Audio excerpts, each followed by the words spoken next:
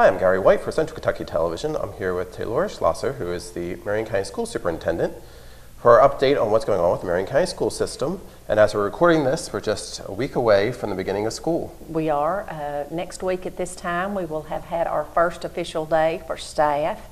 Uh, we'll have our opening day at Marion County High School. Breakfast will be served at 7:45 for all staff, and we'll have an opening day speaker, and then uh, staff will head back to their buildings to do a lot of required training.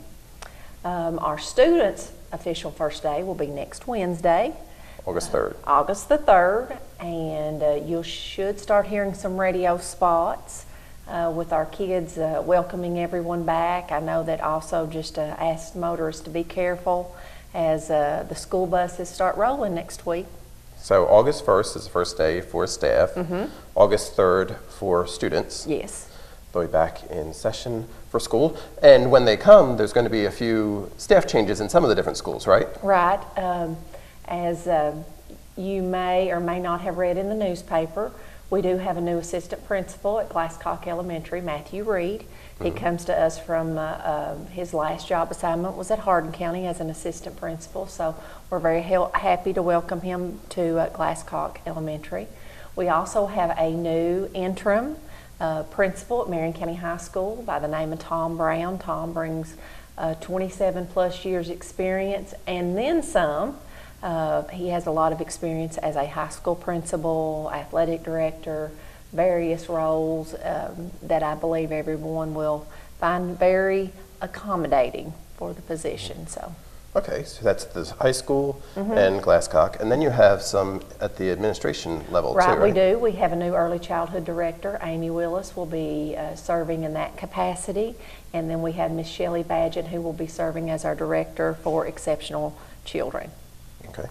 So it's been the summer that we've been dealing with. It's been warm and stuff. But has there been any changes to buildings and facilities much over the summer as well? Uh, not, not really. We've really just been doing a few things. Uh, we are finishing the project that the board voted on back in the winter about the roof for West Marion, so that's going to be finished up.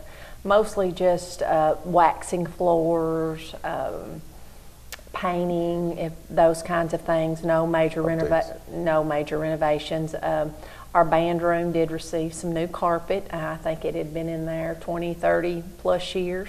so it was about time. So we did get some new carpet in our band room. Um, I think most schools are trying to spruce things up. The high school, um, I think, uh, has tried to make their lobby a little bit more welcoming. When you walk in the office, you'll see a few changes, but nothing, nothing in major construction. That's good. Mm-hmm. And also over the summer you had your school as well, or classes, I guess, right? For the summer program. How'd that all go? Oh, that was great, and I'm glad you brought that up. Uh, we had our Summer Dream Academy. We had fantastic results from that. Lots of happy kids.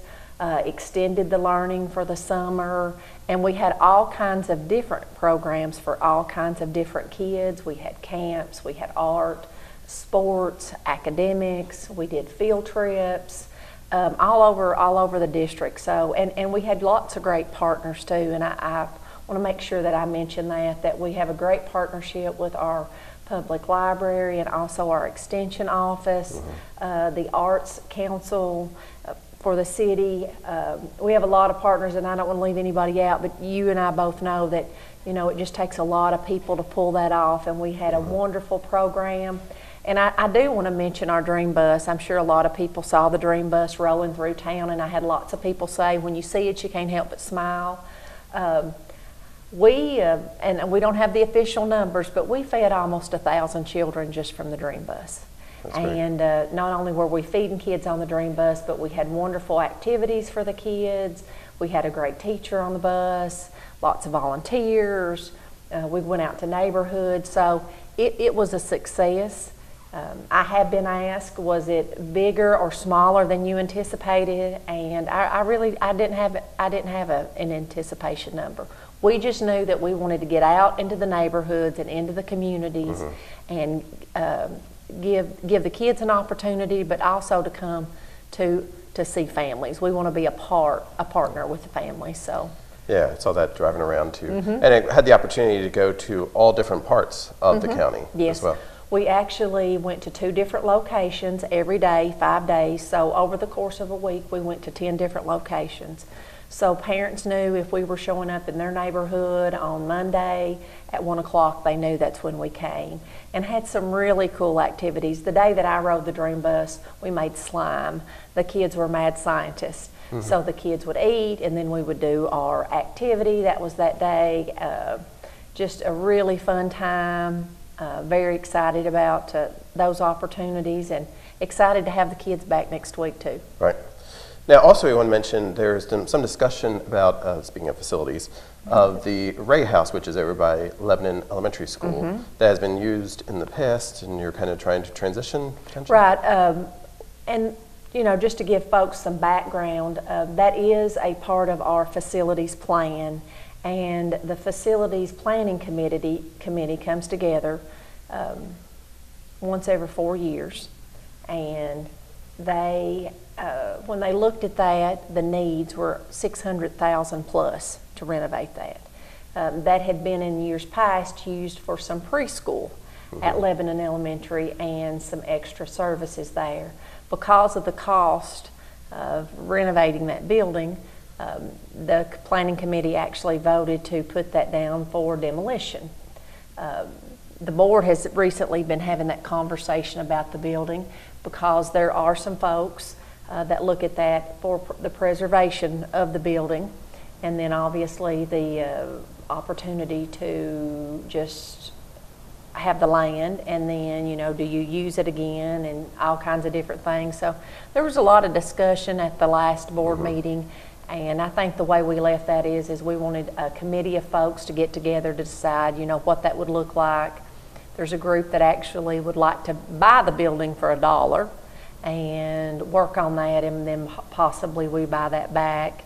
Um, but I'm, I'm not real sure what the direction will be on that, but I do think it's important with as much um, support for the building and for actually keeping the property in our Board of Education's name, that uh, we'll have a committee of folks that'll look at that and, and hopefully we'll come up with a great solution that suits everyone. I remember years ago uh, when uh, Terry Ward was still living, we did a history segment in different buildings, and that was one of the buildings he mentioned. So I know there is some history and stuff, but it's not a, it's not a. It's not on the National- national registry. Right, right, That's right. okay. So And that was one of the things I want the community to know, that's one of the things the committee knew before they put that down there. And so that committee was a large group of folks. We had architects and folks like that in from uh, the Department of Education to help us with that. So because of the cost, um, our, the Lebanon Fire Department said, you know, they could use that as a training site.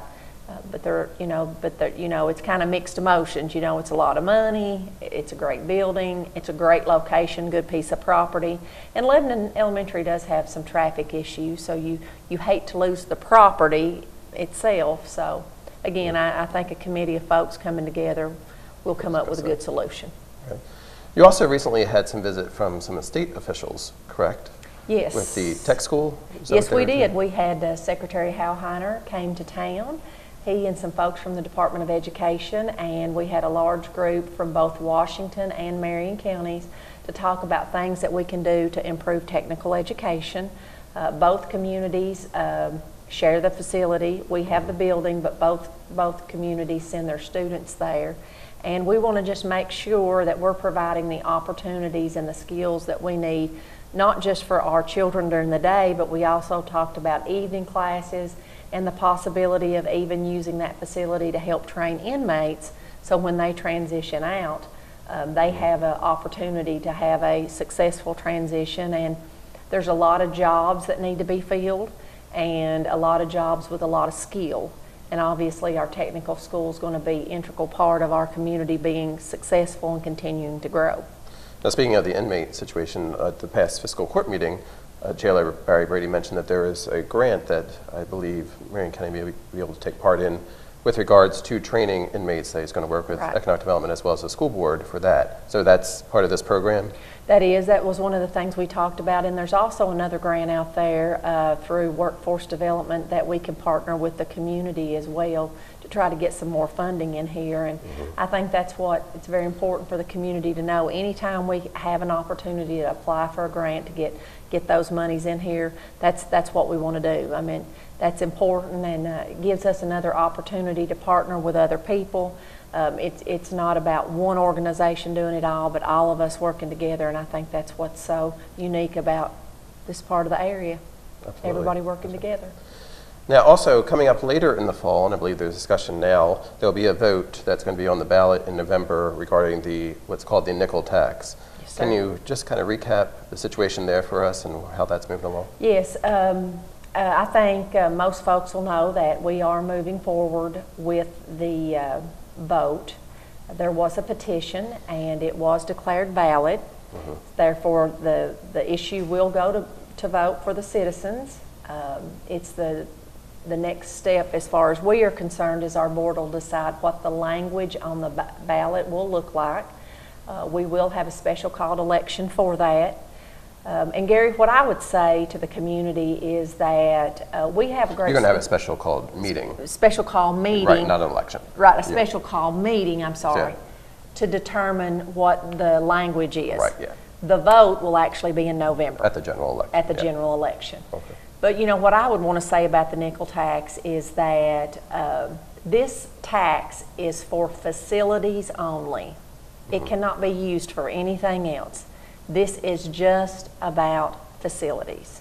And the way school works is like in most uh, government agencies, there are certain parts of money that only is allowed to be spent on certain things. And so this tax would go into our facilities.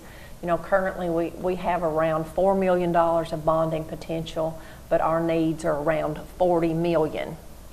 And we do have a great school system.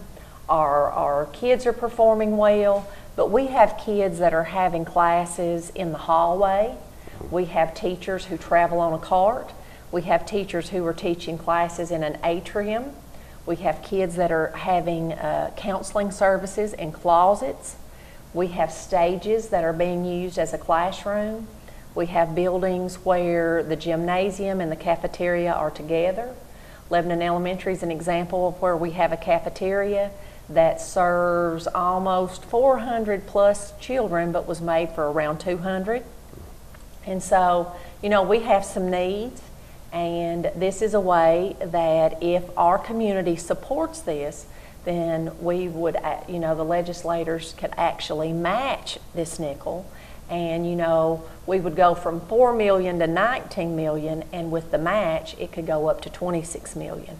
And so when you look at the needs, um, you know, this, this uh, additional revenue could be very helpful in getting our children in the kind of buildings they deserve. And I think our kids deserve the best. This is a wonderful community.